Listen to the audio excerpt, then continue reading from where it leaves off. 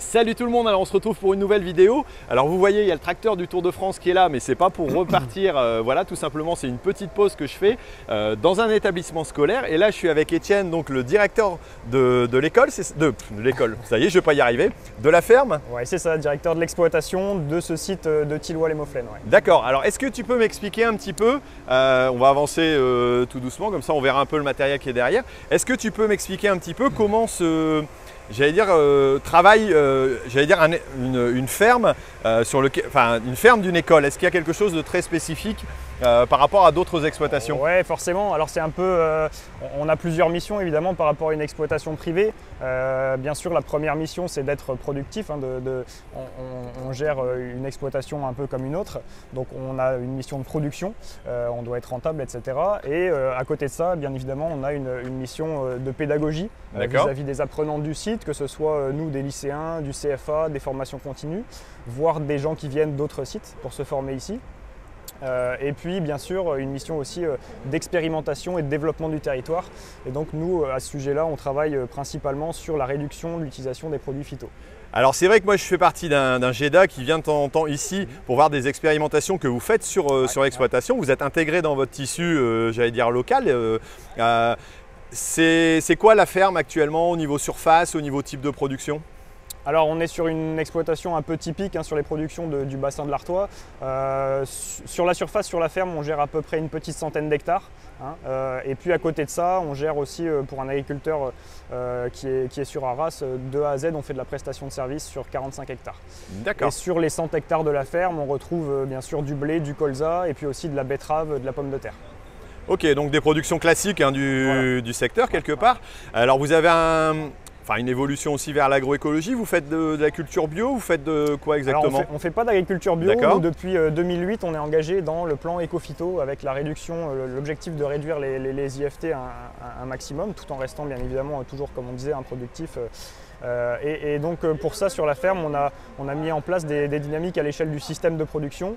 Et puis on met en œuvre tout un tas de, de leviers, euh, d'outils d'aide à la décision, de- du désherbage mécanique, de la culture associée, euh, qu'on combine comme ça pour essayer de réduire un petit peu l'usage de nos, de nos produits phyto par rapport à ce qui se fait en, en conventionnel. quoi. Ouais, vous répondez, j'allais dire, à l'évolution que la- l'agriculture Ouais, nécessite, voilà, pour lequel elle est nécessaire. Euh, et les relations avec les élèves, parce que moi, quand j'étais à l'école, à l'époque euh, agricole, bon, il y avait la ferme, il y avait l'école, il n'y avait pas tellement de contacts. Est-ce que vous, vous avez réellement des contacts, euh, voilà, euh, plus proches, et est-ce que les, les élèves viennent travailler dans Ouais, alors, alors comme on est une ferme de grande culture, c'est pour ça que je parlais tout à l'heure d'autres fermes de l'établissement qui sont plus sur de l'élevage, sur du maraîchage, où là les élèves participent à l'acte de Ouais. production.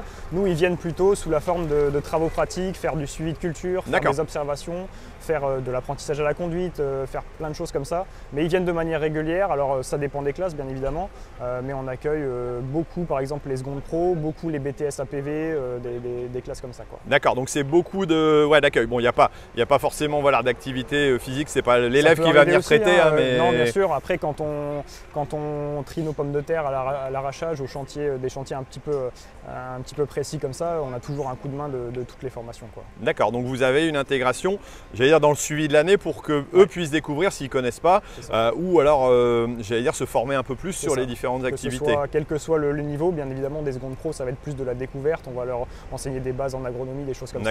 Et puis, euh, quand on est au niveau BTS, ça va être plutôt, on va leur demander d'aller faire des diagnostics en parcelle, un peu avec la méthode du, du BSV, hein, du bulletin de santé du végétal, euh, des choses un petit peu plus poussées. Quoi. Alors un lien très concret avec la réalité de ce que Ouais, vit un agriculteur. euh, euh, j'allais dire toi en tant que responsable, euh, tu, tu dois gérer aussi, c'est une activité qui doit rapporter j'imagine euh, aussi économiquement ou tout au Bien moins sûr. pas perdre d'argent. Bien sûr, C'est le minimum. c'est- l'objectif premier ouais, aussi. Donc il faut aussi avoir une activité économique et fonctionnelle euh, de l'ensemble. Ouais.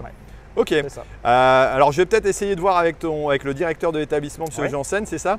Euh, bah, Justement lui en parler, puis parler un peu des formations euh, agricoles, parce que je pense que ça peut être intéressant aussi pour nos auditeurs. Ok. Bonjour, Eric Janssen, c'est ça? Bonjour, tout à fait. Alors donc vous êtes le directeur euh, de l'établissement ici, mais pas, aussi, pas seulement, euh, voilà, c'est d'un ensemble d'établissements scolaires euh, agricoles, c'est Oui, alors tout à fait. euh, L'établissement où nous nous trouvons aujourd'hui, le lycée agro-environnemental d'Arras, dépend du campus agro-environnemental du Pas-de-Calais, qui est constitué de trois sites de formation Arras, Radingan et euh, Saint-Omer. Alors qu'est-ce qu'on y, euh, j'allais dire, qu'est-ce qu'on y divulgue comme, euh, comme connaissance? Quel métier euh, on apprend? Alors le les métiers de l'agriculture, j'imagine, mais c'est aussi un peu plus large maintenant que les métiers de l'agriculture? Alors évidemment la base c'est les métiers de l'agriculture. Sur Tillois par exemple on était spécialisé sur la production végétale, sur Radingan sur la production animale et sur Saint-Omer la production maraîchère. Mais aujourd'hui bien sûr les filières se sont élargies parce que le monde professionnel aussi s'est élargi. On va euh, parler d'aménagement du paysage, de l'environnement, mais également du service à la personne par exemple, des agroéquipements. Hein, euh, qui sont euh, maintenant très prégnants et que nous préparons en tout cas dans nos établissements. Alors comme je le disais tout à l'heure avec Étienne, c'est vrai que moi quand j'ai connu à l'école, bah, c'était la ferme et puis à côté établissement scolaire. Il n'y avait pas tellement de lien entre deux. Maintenant il y a une réelle interactivité dans l'ensemble pour réellement mettre en avant les pratiques alors oui, tout cela a évolué. Comme vous, j'ai connu l'enseignement agricole il y a quelques années, puisque je suis un ancien élève de l'enseignement agricole. Euh, oui, effectivement, c'était très euh, euh, épisodique, les interventions sur la ferme. C'était des séquences de TP ciblées. Aujourd'hui, on n'est plus du tout là-dessus. On demande à ce que le... Alors déjà, l'exploitation se retrouve un peu au centre du dispositif de formation de l'établissement. D'accord. Donc ça, c'est plus à côté, c'est au centre. C'est vraiment au centre. On a fait en sorte, un gros travail a été fait ces dernières années pour positionner l'exploitation au centre du dispositif. Et on, fait en sorte que euh, les référentiels de formation et surtout l'implication des enseignants et des formateurs puissent être en interaction très étroite avec le fonctionnement de l'exploitation. Donc entre, j'allais dire, les enseignants et puis euh, le responsable de, la ferme, euh, il y a vraiment des, actions croisées. quoi. Oui, alors plus que des actions croisées, hein, puisque les jeunes sont très présents, et euh, le directeur d'exploitation, en l'occurrence, avec les équipes d'enseignement, prépare des fiches pédagogiques d'intervention des jeunes sur le site. Mais alors en parallèle aussi, il y a un deuxième secteur quand même, parce que là on parle de l'activité euh, technique, euh, mhm. de fonctionnement de l'exploitation, mais il y a aussi toute la partie expérimentation qui est mise en place sur l'exploitation, au service du territoire, de l'animation du mhm. territoire, au service de l'agriculture, mais également du coup sur ce domaine-là, on demande à ce que les, les, élèves et les étudiants puissent être acteurs également de la mise en œuvre de ces expérimentations, ce qui leur apporte bien sûr de la technique, mais aussi surtout de la rigueur. D'accord, donc ça, ça permet d'intégrer au tissu, euh, j'allais dire, local. Alors c'est vrai que euh, moi j'ai déjà eu l'occasion de visiter des tests, des essais qui étaient faits ici avec le, mon, GEDA quoi, local. Quoi. Donc c'est vrai qu'on voit, on voit, cette intégration. Et pour vous, c'est important de, de, mettre au contact, euh, j'allais dire, les jeunes. Alors il y a aussi la formation, j'allais dire, avec l'alternance qui, qui, existe, mais, mais même en formation continue, j'allais dire, on a des gens qui sont, j'allais dire, intégrés dans l'exploitation. quoi. Alors, euh, sur la formation continue, l'apprentissage, la formation scolaire, tout le monde est présent en fait sur l'exploitation et utilise euh, les outils euh, proposés par l'exploitation. Alors quand je dis les outils, ça peut être physique, hein, tout simplement du matériel, des tracteurs, mhm. du, machinisme, mais c'est également un apport intellectuel au travers des connaissances techniques que peuvent apporter à la fois le directeur d'exploitation, mais aussi les salariés de l'exploitation, qui, qui travaillent au quotidien Hein, dans la mise en œuvre des cultures. Alors pour ceux qui ne connaissent pas l'enseignement agricole, euh, lorsqu'on est jeune, euh, qu'on veut se former, où est-ce qu'il faut se renseigner pour découvrir un petit peu les différentes formations et puis trouver celle qui convient peut-être le mieux à, ce qu'on veut faire? Alors aujourd'hui l'enseignement agricole euh, du ministère de l'Agriculture hein, au sens large, alors vous avez des sites nationaux du ministère comme Chlorophylle hein, qui permet de balayer l'ensemble des formations et des établissements en France d'enseignement agricole.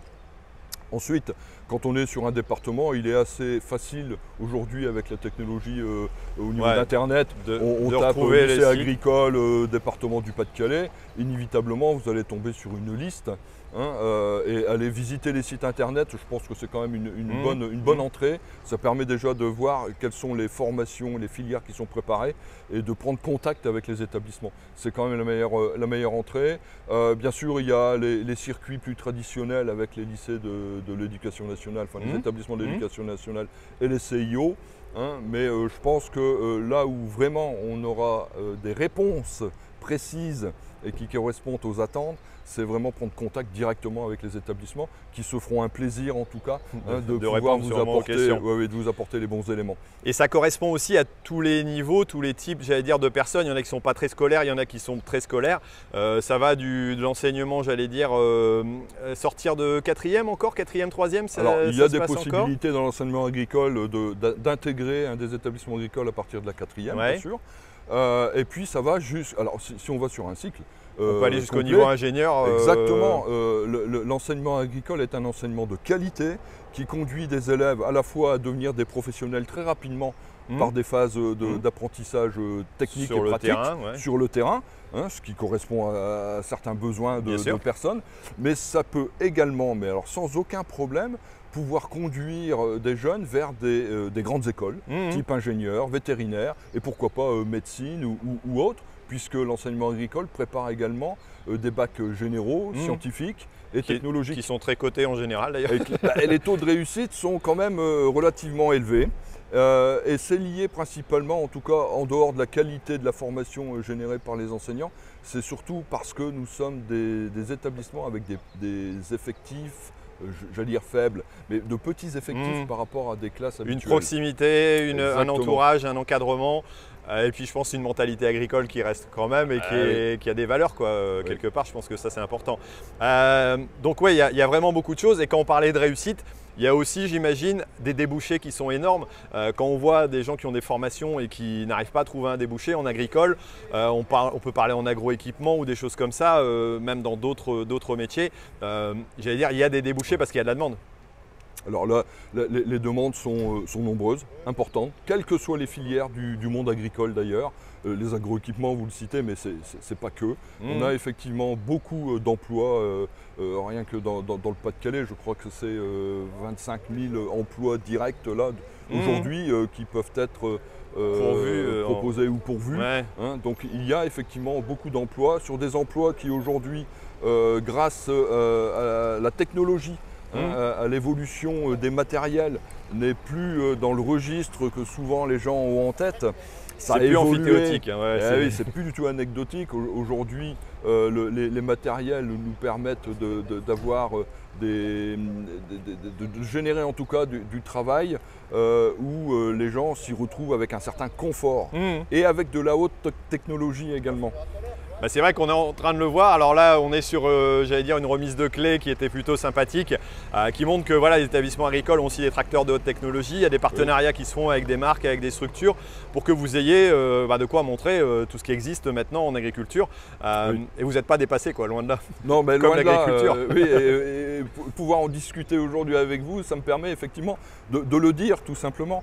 Hein. effectivement, comme je l'ai déjà dit, c'est essentiel pour nous que d'avoir du matériel, en l'occurrence, bah, du dernier cri en tout mmh. cas, parce que euh, l'agriculture aujourd'hui, euh, c'est de la haute technologie tout simplement.